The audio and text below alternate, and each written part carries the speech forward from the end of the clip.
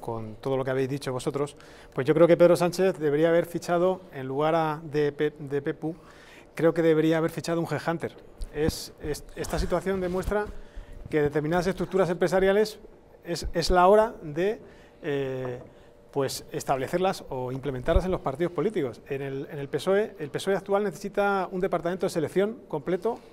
y si no quieren fichar a un headhunter, por lo menos a un, director de, selección, porque, porque mm, ya no solo es el caso de Pepo Hernández, sino de, todos los ministros que no han dimitido y el que, el que dimitió, más, mm, como es el caso de Masín Huerta, pues todo, demuestra, toda esta situación demuestra que en los partidos políticos deberían renovarse y, y independientemente del límite moral y ético, que también lo, lo determinó Pedro Sánchez en la entrevista a la que habéis aludido antes de ser presidente, pues yo creo que es hora de, además de establecer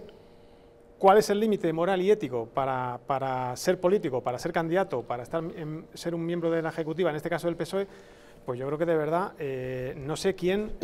eh, ficha a, estos, a, estas personas y, y, no sé qué filtros se utilizan para, pues, para ver su currículum, para ver su trayectoria profesional y personal y para ver si, si, tiene algún problema con Hacienda, lo que, lo que ha hecho a través de, de, determinadas sociedades, independientemente de que, como se ha dicho también en la mesa, pues el, crear una sociedad instrumental para, evitar eh, tributar por, el IRPF y, tributar por el impuesto de sociedades antes del, del 2009 era legal.